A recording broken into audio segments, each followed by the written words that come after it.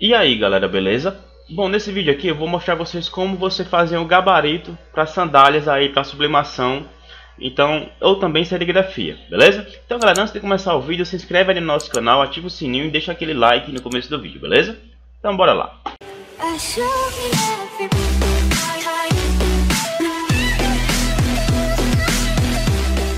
Bom, primeiro de tudo, o que você tem que fazer? Você vai pegar a borracha da sua sandália, sem a correia, tá bom? E você vai colocar no seu scanner da sua impressora. Vai escanear ela e salvou no seu computador. A partir disso, vamos abrir o CorelDRAW. Vamos aqui no CorelDRAW e vamos clicar aqui em novo documento. Nesse novo documento, vamos colocar aqui no tamanho da folha A4 ou se você tiver uma impressora de tamanho A3, fica ao seu critério. Vou colocar aqui no tamanho A4, aqui vai estar milímetros. Eu vou clicar na setinha e escolher centímetros. Vou deixar aqui no modo de páginas, retrato. Modo de cores primárias, vou deixar RGB porque é para sublimação. Resolução de renderização 300 dpi. E vou dar um OK. Ele vai criar uma folha de tamanho A4 para gente. E agora você vai clicar com o botão direito, importar e vai procurar a pasta onde você salvou as, o, as imagens escaneadas. Eu peguei essa imagem aqui para demonstrar a você na videoaula. Então selecionei aqui a imagem, vou clicar aqui em importar. E agora uma coisa bem importante para você conseguir pegar e fazer o molde, o gabarito da sua sandália. Aqui no CorelDRAW você vai clicar apenas uma vez aqui com o mouse. Clicou uma vez, ele vai abrir a imagem no tamanho real. Tá bom? Então vou dar um zoom aqui com a bolinha do mouse, só para você entender. Aqui tem duas, duas sandálias. Então eu vou só aparar aqui essa imagem, pegando a ferramenta cortar, selecionei a imagem e vou clicar nela e selecionar somente uma das sandálias. E vou dar um Enter. Pronto. Digamos que você pegou aqui e importou sua imagem dessa forma. Lembrando, para importar a imagem, você clica com o botão direito, importar, vai pegar a imagem e com o mouse você vai clicar uma vez para ele abrir no tamanho real. Só que aqui na videoaula eu vou clicar nela e vou aumentar para você visualizar nosso efeito. Beleza? Bom, digamos que sua, a imagem está aqui dessa forma. E agora você vai é, bloquear ela clicando com o botão direito em cima, bloquear o objeto para que ela não se mova quando a gente começar a vetorização. E para esse efeito a gente vai escolher uma ferramenta bem legal que é a curva de três pontos. Então venho aqui na ferramenta mão livre, você vai clicar com o botão esquerdo durante alguns segundos e vai escolher aqui a ferramenta curva de três pontos. Selecionando aqui, já temos a nossa ferramenta ativada. Só que a gente vai configurar o traçado dela. Aqui tem essa ferramenta caneta aqui embaixo e esse quadradinho preto. Vamos dar dois cliques nesse quadradinho preto. Vamos dar um OK nessa caixa. E aqui a gente pode trocar a cor. Clica aqui na setinha de cor.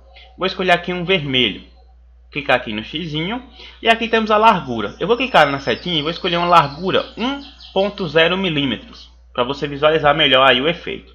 E vou clicar em OK.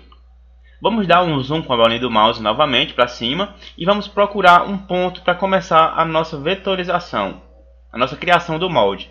Só cliquei no primeiro ponto, a curva de três pontos funciona da seguinte forma. Cliquei no primeiro ponto, segurei o clique e arrastei para onde eu quero fazer a curva. Soltei o clique e com o mouse eu faço a curva. Feito isso, essa curva aqui, eu dou outro clique aqui, ó. E ele tem esse contorno pra gente. E para você continuar esse traçado, você passa o mouse aqui nesse nó, olha só, quando ficar o nome nó, segura o clique e arrasta para onde você quer fazer a curva, soltou o clique, com o mouse você arrasta para onde quer fazer a curva e clica novamente. E assim você vai contornando a sua imagem. No caso aqui, eu vou clicar nessa setinha aqui, arrastar um pouco mais para cima para visualizar melhor. Cliquei no ponto nó, sol, arrastei o clique para onde eu quero fazer a curva. Soltei o clique e arrastei para onde eu quero fazer. Cliquei novamente e temos aqui a curva. Vou arrastar aqui para cima e você vai fazer isso aqui. Ó. Ficou aqui um nome nó, clica, segura e arrasta. Solta o clique e arrasta para onde você quer fazer a curva clicou uma vez na tela e a gente vai começar a fazer aqui o contorno da nossa sandália. Novamente, cliquei no nó, arrastei onde eu quero fazer a curva, soltei o clique, arrastei o mouse para onde eu quero fazer, cliquei novamente. E temos aqui essa curva. Então vamos aqui, ó. Cliquei no nó, arrastei para onde eu quero fazer a curva, soltei o clique, arrastei, cliquei novamente. E vamos fazer essa parte aqui, ó. Clicou, arrastou. E a gente vai contornar toda essa sandália, tá bom? Cliquei, arrastei, soltei o clique, arrastei, cliquei novamente.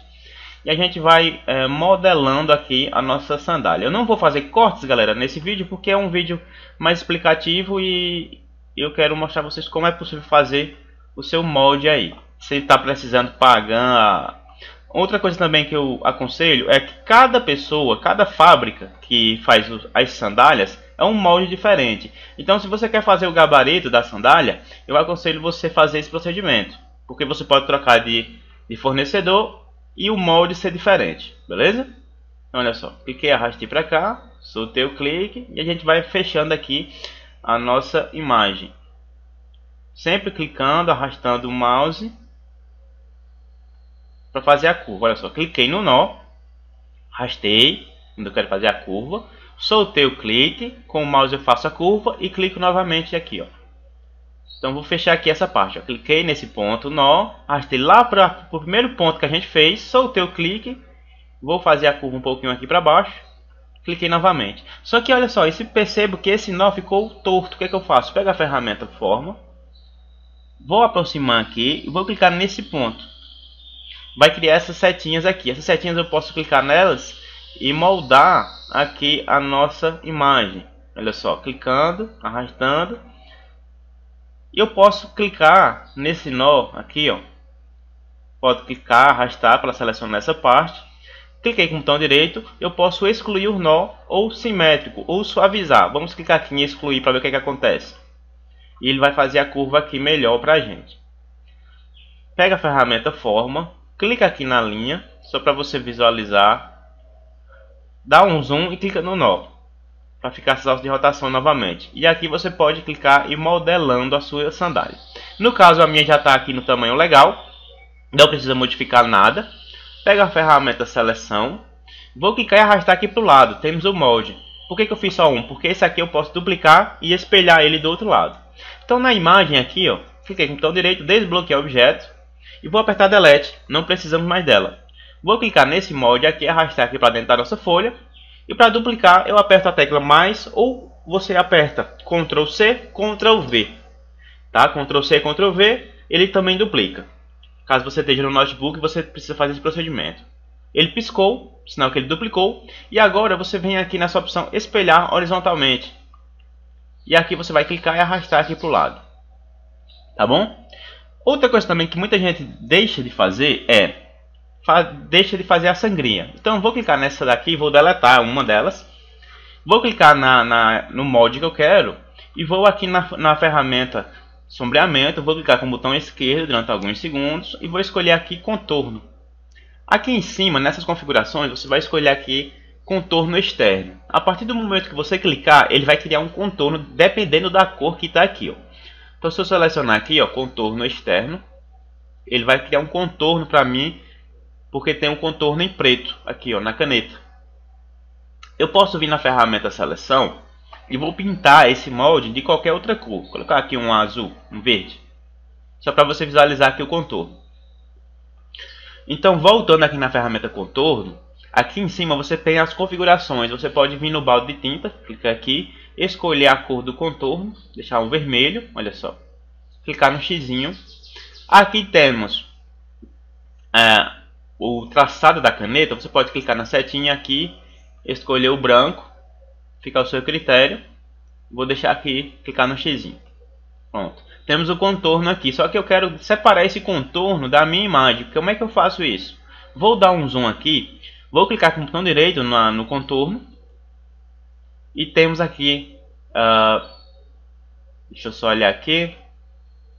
Vou pegar a ferramenta seleção, vou aqui em objeto, separar grupo de contorno.